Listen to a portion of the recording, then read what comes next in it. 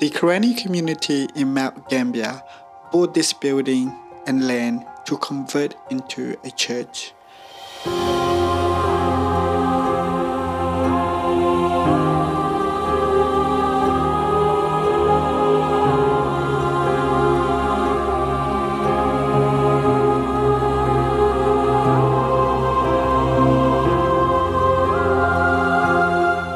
The building has so many rooms that it need to be labeled with number.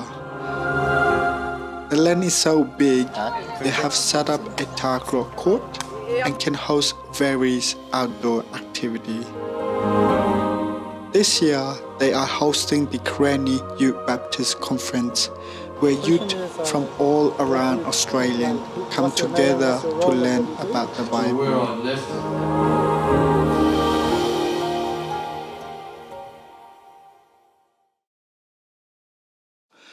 I was fortunate enough to be the media person documenting their journey.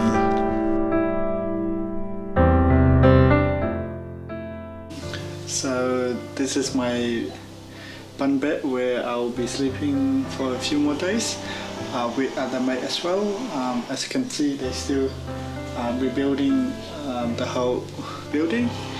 Um, but yeah, I'm pretty keen to learn more about the building and the community and the churches and see what their story is. No, okay. Ah, taba yu azru wei ni bata ko la kurini nulahi la tikripo taba yu azru ni la.